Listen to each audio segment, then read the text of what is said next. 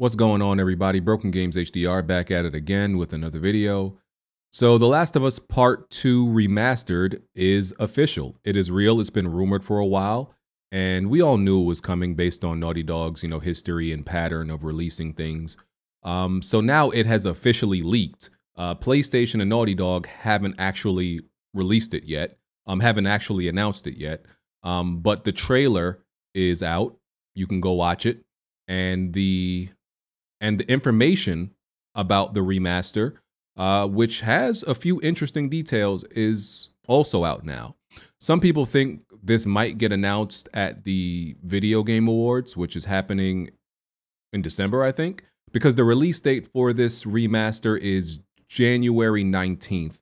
So it's coming out January 19th of next year. Um, now, I think I don't think this should be announced at the Game Awards I think it's it's likely if it's not announced like on Monday or Tuesday of next week, then it will probably be announced at the Game Awards.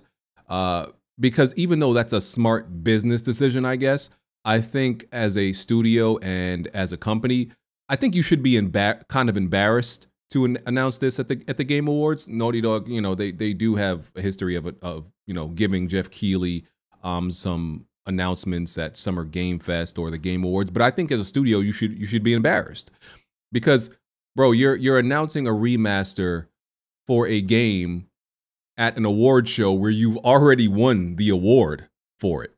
Like Last of Us Part 2 won game of the year in 2020 at this exact award show and that was the last that was the last game you really dropped the last new game you dropped, not counting The Last of Us Part One, um, Part One remake. So I, I personally, I, I think you should kind of be embarrassed and not want to do that. And you don't need to do that. I think like this is something that you should just release and just be quiet about, and it'll sell itself for people who want it. But your output sucks. Your out your output stinks, and we we know everything that's going on behind the scenes.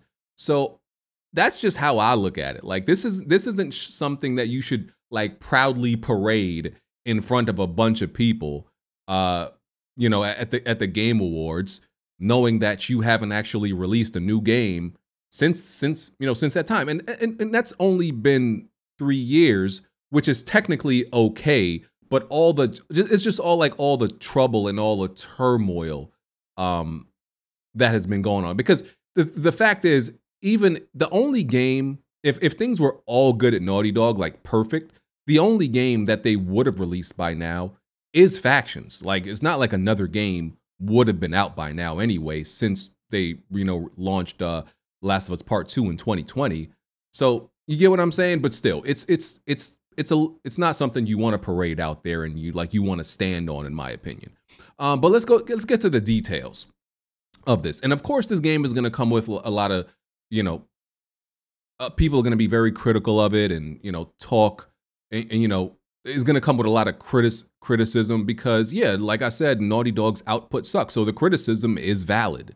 It, it, it's very it's it's very valid. Um, so here's here's here's the details. So of the remaster, native PS5 enhancements built for the PS5 console. They got to stop saying that shit. Uh, the Last of Us Part 2 remaster enhances the original uh, PS4 game in ways not possible before. Yeah, they putting sauce on it.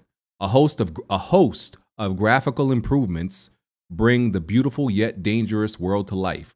What's weird about some of this stuff is I didn't see any of this in, in, in the trailer. Like you know, like usually in remaster trailers or remake trailers, they tell you they they like list off all all the improvements and all the enhancements. I unless I missed it, and I did skim through it, I did skim through the trailer because I'm like, you know, what am I really sitting through a whole trailer for? Uh, but I didn't I didn't see any of this in in the uh, in the trailer. Maybe I'll go back to go back to the trailer and um, just rewatch it real quick in a in, in a minute. But I'm pretty sure it was not there. Hold on, let me let me I'm, I'm skimming through and it's a freaking short. Is this even a minute long? Bro, I don't. I think the shit is like 30 seconds long. Yeah, so they don't even they don't even talk about the unless there's a, like another longer cut version. Anyway, back to the details about it. Um, host A host of graphical improvements bring the beautiful yet dangerous world to life. They don't really specify. Uh, visual performance now outputs uh, at 4K in fidelity mode. Um, improved loading times, uh, you, know, you know, lets you jump quicker back into the action. Full du- wireless controller integration. Here's what's interesting to me. Let's get to the let's get to the main course of what's interesting about this. A no return mode, which is pretty much a horde rogue-like survival mode. See, now you talking my language. See, now this could this absolutely could come from my absolute desperation and thirst and hunger for anything that's like even relatively that has a rel- relative semblance to what could could be or could have been factions depending if it comes out or not.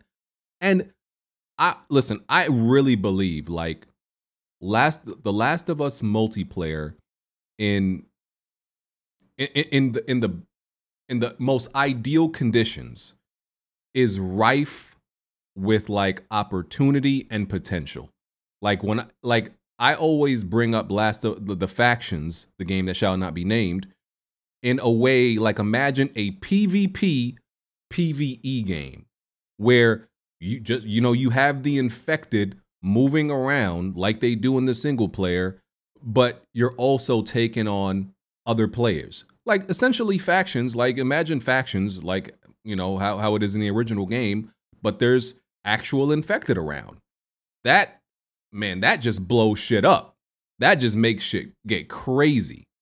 And there's there's so many ideas. Like I said, I, I think that's why like I, I really want factions to come out because I really don't think a lot of people understand the potential that that multiplayer has and the ideas and there's so much shit they can do so many different modes so many different ways to play, but we're not here for that. I'm just saying that's what this roguelike survival mode makes me think about is that untapped potential that could be if that game comes out. Um, so it says a rogue a roguelike survival mode. Experience The Last of Us Part 2's deep combat via an entirely new mode. Survive as long as you can in each run as you choose your path through a series of randomized encounters, play as a host of different unlockable characters, some never before playable in the Last of Us franchise, each with unique gameplay traits. This shit sounds like something that this sounds like a prerequisite, like like like the, the preliminary to what just, just, just scratching the surface of what factions could be, except it's just a survival mode. You get what I'm saying? But if you take ideas like this and you make and you put it in multiplayer and you make it, just imagine, just let your imagination fucking wonder. That's why, like, factions being canceled would be probably the most disappointing thing. I don't think people really understand what that multiplayer could be. People really don't get it. I don't, because people think that, like, oh, BG, you're just like, you know, this thirsty, diehard multiplayer person. No, I, I see the vision, dog. I see the vision of the the untapped possibilities the the chances the I, I, can literally see the like i'm i'm you could see it in the alternate universe, bro. What things are in the perfect world where factions has come out already and it's like and there were there were no stumbles or no hiccups or no development hell. Like this is speaking to that. And best believe if this mode comes like when we play this in January and bro, it's 2 months away, if this shit is fire, if this survival mode is fire. There's if y'all thought I was insufferable before, there is nothing you can fucking tell me that the multiplayer would not be great as well. There's nothing you're gonna be able to fucking tell me. because I seen it with my third eye, bro. I seen it. And if this survival mode is is really fucking good, then I'm definitely gonna be like fuck Bungie. Fuck everything Bungie said. I appreciate their expertise and you know the the economy of live service and making it a game that lasts long.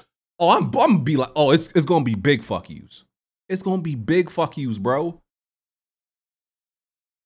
I'm t- man, don't don't let this serve. And I know it's it's just a mode. It's just it's just a mode, but it but it's just like I said, it's just it's telling you what could be. Play as a host of different unlockable characters that each that they all of them have their own sounds like abilities, traits they so they don't play the same. When I first read this, I'm like, "Oh, it's just going to be different skins." Apparently, it's not even just different skins. They have I don't know, maybe different different weapons, different abilities, different That's, that sounds like some fucking multiplayer shit. Except it's just the horde mode. The variety of challenges feature different foes and memorable locations throughout The Last of Us Part 2, all culminating in a intense boss battles. So, like I said, sounds like horde mode, maybe at the end of each round and it's it's not and it's like you have to actually go through the levels and shit like that. And if it's a roguelike, I imagine that roguelikes usually have some type of like uh, you know, upgrades or abilities that you can, you know, abilities that you could upgrade or um some type of perks at at the um that you get at at each round or each level or something like that. So I don't know if it's if if it's exactly going to be like that. Um but I also like that it's uh as they said uh, blah, blah, blah, it's randomized encounters. So it's not like everybody's going to have, you know, the same same experience um, it's completely random, just you know, not procedurally generated. I don't think that's uh, I don't think that's going to be the case. But it, yeah, it's going to be random. Um, roll a dice as to what which level or something shit some shit you run into. Um, it also says new ways to play. Delve deeper into this beloved adventure and and learn how the original game was created. This has this has this is separate from the no return mode. Lost Levels lets you explore early development uh, development versions of three new levels not seen in the original.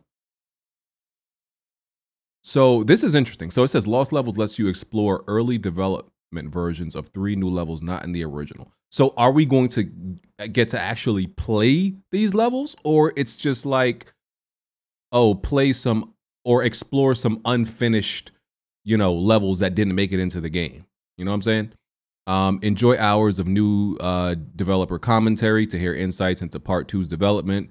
Uh, uh, live up to your musical potential with the with guitar free play, uh, unlockable instruments, new speed run mode, and uh, post your best times. Descriptive audio, speech vibrations um, as an accessibility feature. Last of Us Part 2 Remaster also features brand new unlockable character and weapon skins for players to use uh, for both Ellie and Abby.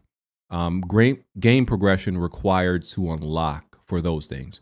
Um, so there's no mention of a PC version, which to me is like, when's that PC version coming out? Because I don't really want to buy uh, the remaster version on, on, on console again. I want to play it on PC. So, what's up? I imagine it is going to come out next year, but probably months after this console version. But uh, but I ain't gonna lie to you. I need to see gameplay of this of this roguelike survival mode because maybe they're putting a little bit sauce on it. They make it sound really good. They dress it up real nice. And you know, maybe my hype is making it sound way better than it actually is, or maybe it's just gonna be that fucking fire. I don't know. It's just a mode. We gotta see. I, I wanna see gameplay. Um, but I would really like, I would prefer to play this once again, this this mode on PC because I have no desire to beat the game again. You know, I love The Last of Us Part Two, but I have no desire to beat the game again on console. Maybe I might want to beat it again on PC, but not on console. You know, I've done beat this game, know this game front front and backwards, every inch of it. So, yeah. Um, Hey man, let me know what y'all think about this. Let me know what y'all think about this no return mode. I want to know y'all thoughts on this and and do y'all get what I'm talking about with this untapped potential and possibility that I'm talking about? Let me know what y'all think, man. Hit the like button. Um, we can only hope that Naughty Dog gets, you know, is getting itself back on track. And I, I think I think it's like wishful thinking and very being very hopeful that they even release three games this generation. I think it's it's if factions. I mean, it, according to them, it's not canceled. So I think the best we can hope for this generation is factions and Last of Us Part Three because they're clearly working on the Last Last of Us Part Three. We all know that. So I think that's what we can look forward to them this whole generation is really honestly two games. Let me know what y'all think. Hit the like button. Follow me on Twitter. Uh, hit the notification bell. All that good stuff. I'll catch y'all on the next video. Peace.